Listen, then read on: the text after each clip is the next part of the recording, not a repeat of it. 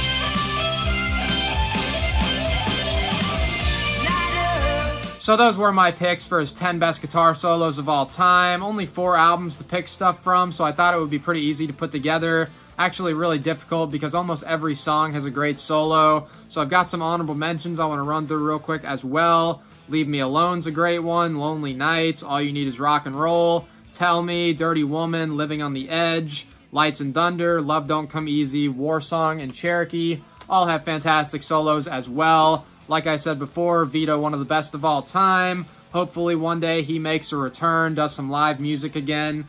Um, probably not that likely, but we can hope. But uh, yeah, you guys can give me your 10 favorite of his in the comments. Let me know what you thought. And until next time, thank you for watching.